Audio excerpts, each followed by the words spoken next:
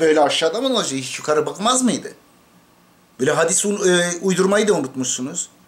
Putlaştırdığınız sahabelerden kaç tanesi böyle dolaştı? Bu da yok. Yani devenin boynu o kadar eğri ki. Kur'an ayeti desem hiç umurunda değil zaten bunların. Allah ne diyor ki?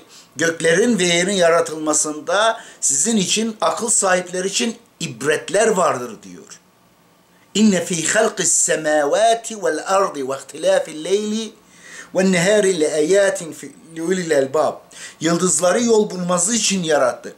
E yıldıza bakınca Allah'a saygısızlık olacaksa Allah ne diyor yıldızları yolunuzu bulmanız için yarattık?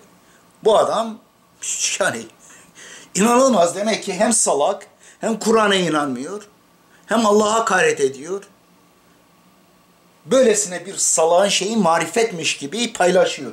Ve bunu beğenen 227 kişi var. Paylaşan 78 tane beyinsiz insan var.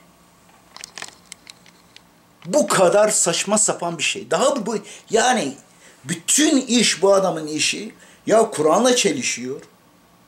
Hadisle çelişiyor, akılla çelişiyor, biyolojiyle çelişiyor. Her bu kadar çelişkili bir şey nasıl bulabiliyorlar, üretebiliyorlar? İnanılmaz bir şey. Ondan sonra daha neler? Arada bir işte akide şekerleri koyacak ki bu tür zehirleri beyni sabote eden, beyni tümüce öldüren ondan sonra yiyebiliyor beynini öldürdükten sonra. Canlı